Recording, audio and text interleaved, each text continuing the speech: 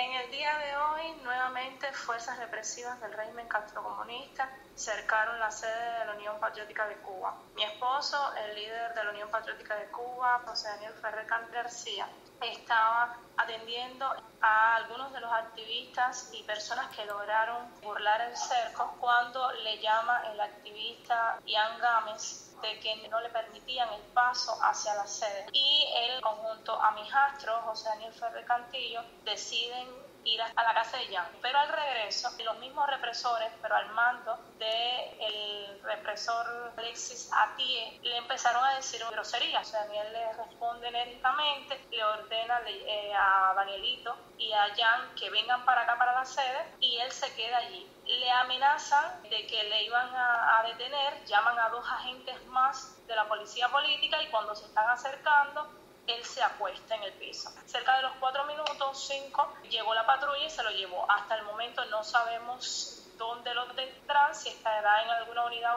policial o lo tendrán en las afueras de la ciudad como lo han hecho en estas últimas veces. Lo que sí estamos haciendo responsable al régimen castrocomunista, a Raúl Castro y a su títere Díaz Canel por lo que le pueda ocurrir a él, ya sea por su integridad física o psicológica.